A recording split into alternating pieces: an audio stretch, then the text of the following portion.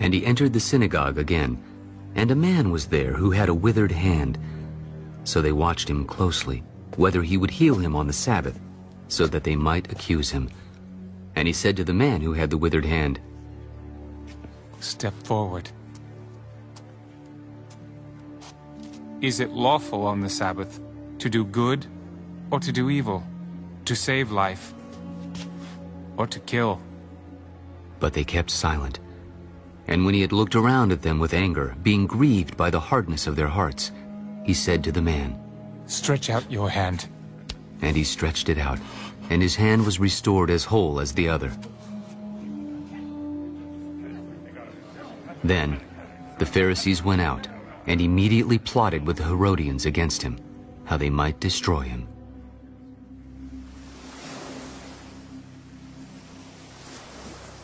But Jesus withdrew with his disciples to the sea, and a great multitude from Galilee followed him, and from Judea, and Jerusalem, and Idumea, and beyond the Jordan, and those from Tyre and Sidon. A great multitude, when they heard how many things he was doing, came to him. So he told his disciples that a small boat should be kept ready for him because of the multitude, lest they should crush him. For he healed many, so that as many as had afflictions pressed about him to touch him. And the unclean spirits, whenever they saw him, fell down before him and cried out, You are the Son of God. But he sternly warned them that they should not make him known. And he went up on the mountain and called to him those he himself wanted, and they came to him. Then he appointed twelve, that they might be with him, and that he might send them out to preach, and to have power to heal sicknesses, and to cast out demons. Simon, to whom he gave the name Peter, James the son of Zebedee, and John the brother of James, to whom he gave the name Boanerges, that is, sons of thunder, Andrew, Philip, Bartholomew, Matthew, Thomas, James the son of Alphaeus, Thaddeus, Simon the Canaanite, and Judas Iscariot, who also betrayed him.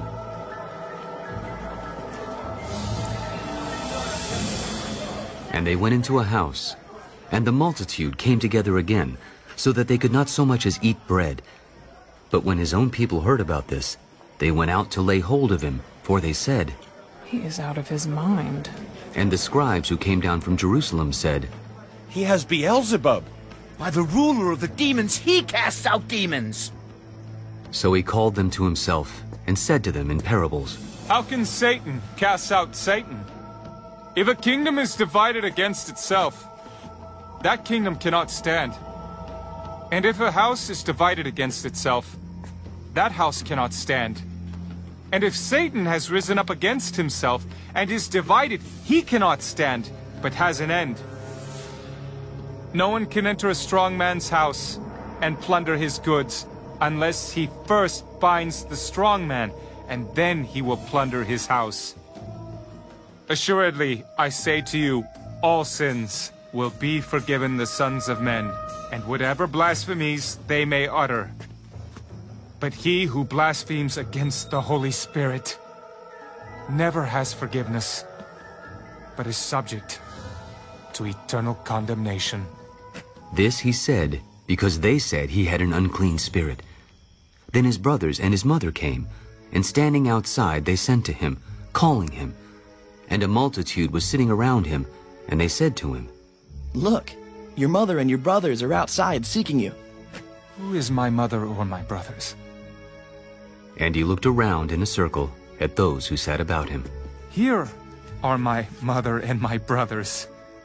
For whoever does the will of God is my brother and my sister and mother. The Second Book of the Kings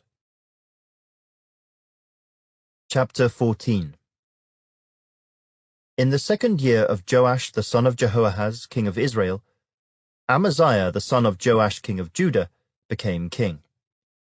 He was twenty-five years old when he became king, and he reigned twenty-nine years in Jerusalem. His mother's name was Jehoaddan of Jerusalem. And he did what was right in the sight of the Lord, yet not like his father David. He did everything as his father Joash had done. However, the high places were not taken away, and the people still sacrificed and burned incense on the high places. Now it happened, as soon as the kingdom was established in his hand, that he executed his servants who had murdered his father the king. But the children of the murderers he did not execute, according to what is written in the book of the law of Moses, in which the Lord commanded, saying, Fathers shall not be put to death for their children, nor shall children be put to death for their fathers, but a person shall be put to death for his own sin. He killed ten thousand Edomites in the valley of Salt, and took Sela by war, and called its name Joktheel to this day. Then Amaziah sent messengers to Jehoash the son of Jehoahaz, the son of Jehu, king of Israel, saying, Come, let us face one another in battle. And Jehoash, king of Israel, sent to Amaziah, king of Judah, saying, The thistle that was in Lebanon sent to the cedar that was in Lebanon, saying, Give your daughter to my son as wife. And a wild beast that was in Lebanon passed by and trampled the thistle. You have indeed defeated Edom, and your heart has lifted you up. Glory in that, and stay at home. For why should you meddle with trouble so that you fall, you and Judah with you? But Amaziah would not heed. Therefore Jehoash king of Israel went out. So he and Amaziah king of Judah faced one another at Beth Shemesh, which belongs to Judah.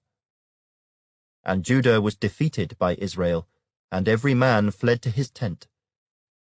Then Jehoash king of Israel captured Amaziah king of Judah, the son of Jehoash, the son of Ahaziah, at Beth Shemesh.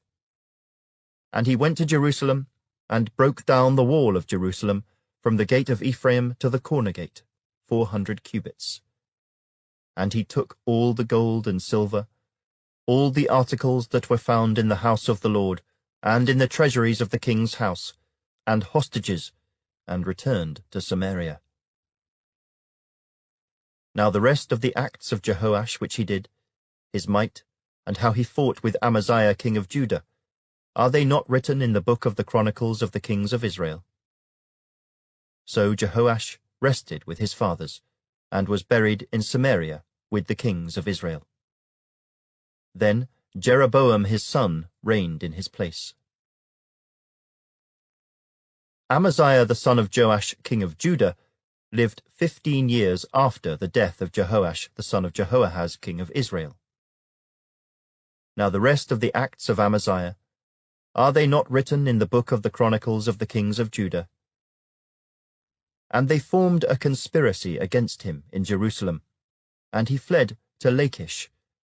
But they sent after him to Lachish, and killed him there. Then they brought him on horses, and he was buried at Jerusalem with his fathers in the city of David. And all the people of Judah took Azariah, who was sixteen years old, and made him king instead of his father Amaziah. He built Elath, and restored it to Judah, after the king rested with his fathers.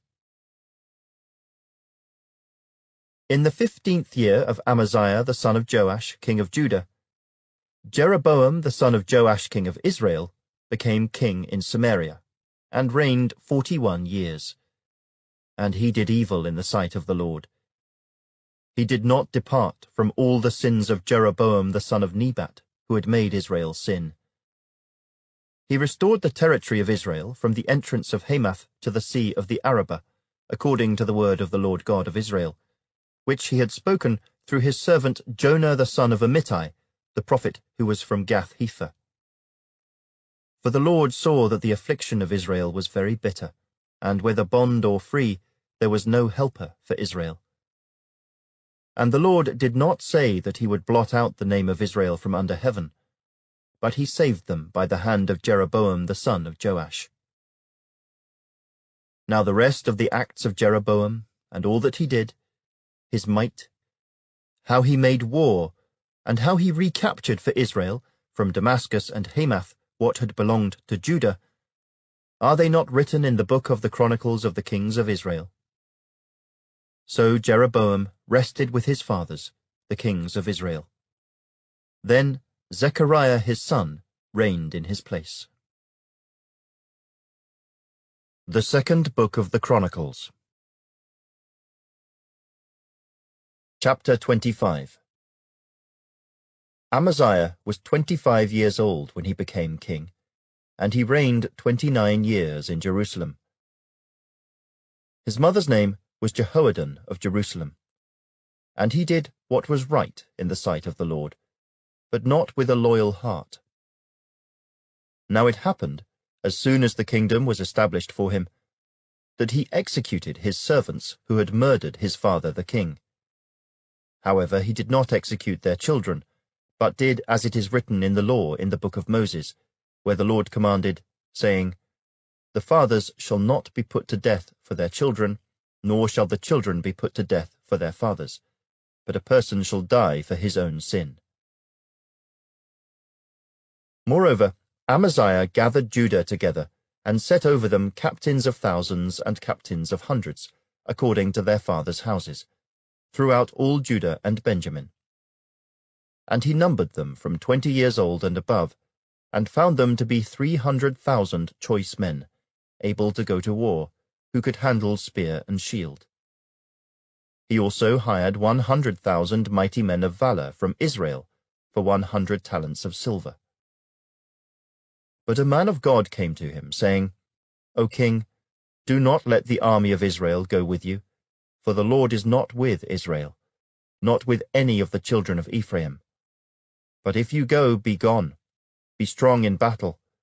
Even so, God shall make you fall before the enemy, for God has power to help and to overthrow. Then Amaziah said to the man of God, But what shall we do about the hundred talents which I have given to the troops of Israel? And the man of God answered, the Lord is able to give you much more than this. So Amaziah discharged the troops that had come to him from Ephraim to go back home. Therefore their anger was greatly aroused against Judah, and they returned home in great anger. Then Amaziah strengthened himself, and leading his people, he went to the valley of Salt, and killed ten thousand of the people of Seir. Also the children of Judah took captive ten thousand alive, brought them to the top of the rock, and cast them down from the top of the rock, so that they all were dashed in pieces.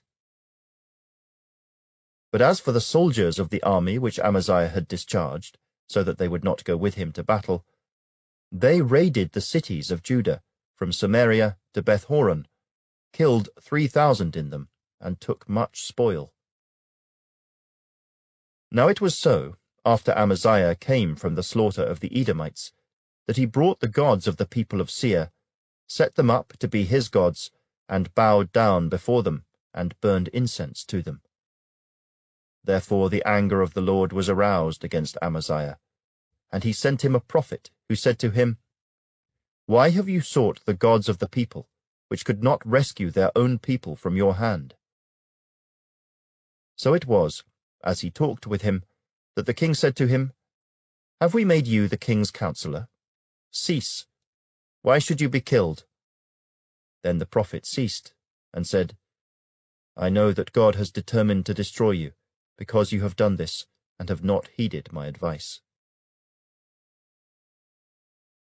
Now Amaziah king of Judah asked advice, and sent to Joash, the son of Jehoahaz, the son of Jehu, king of Israel, saying, Come, let us face one another in battle.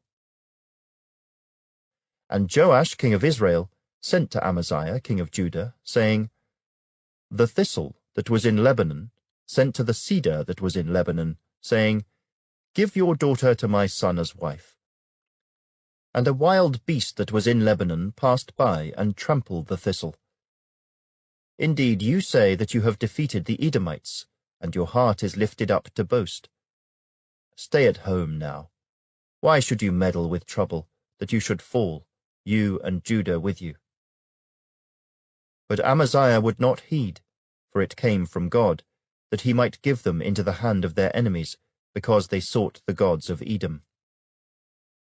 So Joash king of Israel went out, and he and Amaziah king of Judah faced one another at Beth Shemesh, which belongs to Judah.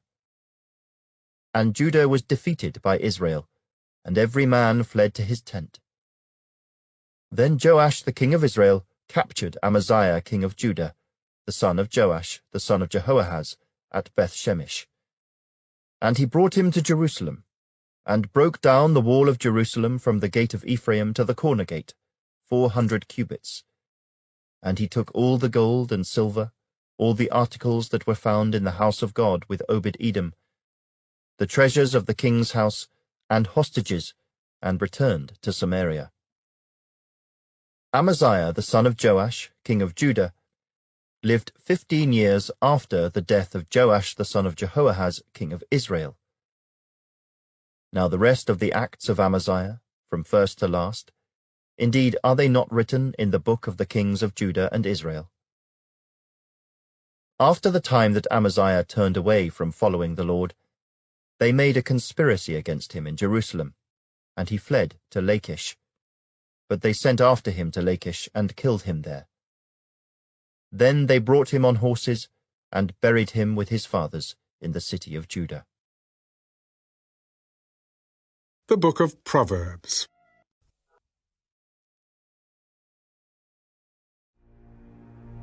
As snow in summer and rain in harvest, so honor is not fitting for a fool.